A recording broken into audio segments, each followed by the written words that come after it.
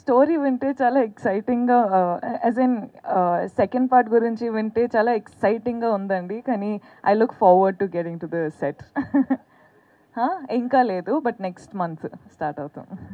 No so one thing what I understood after Pushpa in fact is that language has no barrier clearly ఒక మంచి content film ఇస్తే ఒక different film ఇస్తే అందరూ అన్ని ప్లేస్లో అన్ని స్టేట్స్లో చూస్తారు. సో ఇప్పుడు పుష్ప ఆర్ఆర్ఆర్ కేజీఎఫ్ దసరా అన్ని అన్ని లాంగ్వేజ్లో అయినాయి కానీ all the dub films are also being watched in every other state so all of our films in fact it's not just these films but these films of course when it release we released it pan India and it made the numbers But I feel like um, any good content, anyone everywhere else uh, else will watch.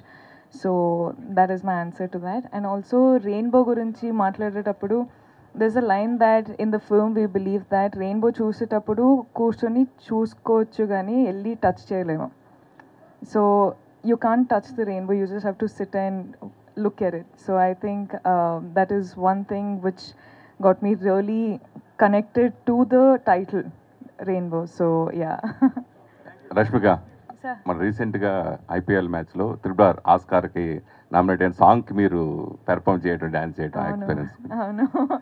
Oh I had so much fun అండి. And also congratulations huge congratulations to triple R team hats off thank you for bringing Oscar home ఎప్పుడైనా అంటే మన Indian film ఇండస్ట్రీలో the best part ఏంటంటే మనకు songs ఉంటుంది dance ఉంటుంది content ఉంటుంది యాక్షన్ ఉంటుంది అన్నీ.